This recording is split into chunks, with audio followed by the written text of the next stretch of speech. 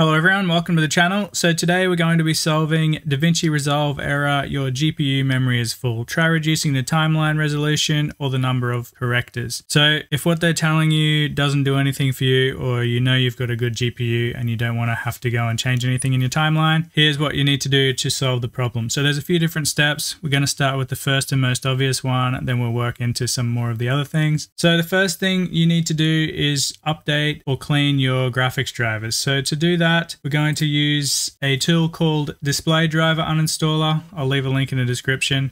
Download this. Uh, it's brilliant. People use it all the time. It's mostly for gaming, but if you've got any sort of GPU issues, this will solve it. So just scroll to the bottom of the page, download from whatever mirror you want. Once you've done that, just open it, extract it. Once it's extracted, you'll get an exe file. Just use that. This will open this little window. So just click extract. You get another folder and inside here is the tool. So just double click on it, accept the security prompt. Okay, as soon as you open it, you'll get this little prompt suggesting to run it in safe mode. You don't necessarily have to. If you do have problems, go back and run it in safe mode, but nine times out of 10, you don't need to worry about that. So just close that window. Then you're in the main app. So here, select your device you want to change. So you're doing a GPU. It should automatically detect your hardware. So for me, it's going to be NVIDIA. Then just click clean and restart. I can't click this obviously, otherwise it's going to do the whole process. Just run through that. It'll take a little while to do. Then once it's done, your computer will restart and you can download and update your drivers again. So if that process alone doesn't fix your problem, there is one other thing you can do.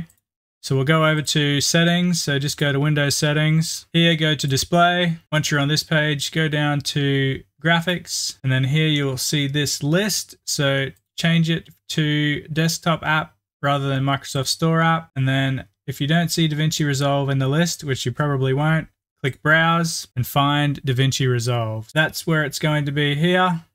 You might have installed it in a different location, so if you have, go and find it. When you do find it, go to the Resolve exe file, double click on it, it'll add it to the list.